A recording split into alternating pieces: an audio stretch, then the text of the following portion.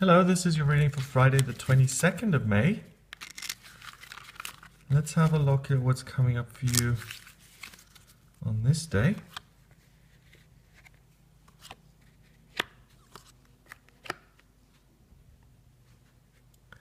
Okay, so the first card is the Emperor. And the Emperor is all about stability and structure.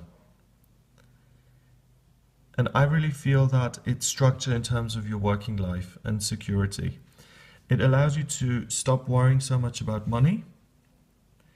And this is a day when you either have a wonderful meeting with your male boss, when your position at work becomes more secure, you're given more responsibility, more money, or if you're self-employed, you feel more confident in the work you're doing and you make sales that give you that confidence. So it's a coming together of the security of your job and the financial benefits in your work. You're going to have a really good day financially on this day, on Friday. You'll get more money coming in and you'll get some good news in your working life. So look out for that.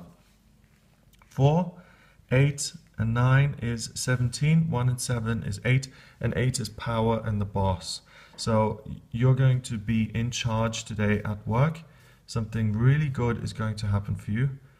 Great news. So that's really something to look forward to. I hope you enjoy that. If you'd like a private reading with me, if your work for some reason isn't um, improving this day, you may be, you may feel like you're in the wrong job um, and you'd like some extra information, then please get in touch with me for a private reading. It's gregoryscott.com. That's my website. Remember to subscribe to the YouTube channel and you can also email me. The address is readings at gregoryscott.co.uk. Have a wonderful start to your weekend and I'll speak to you tomorrow.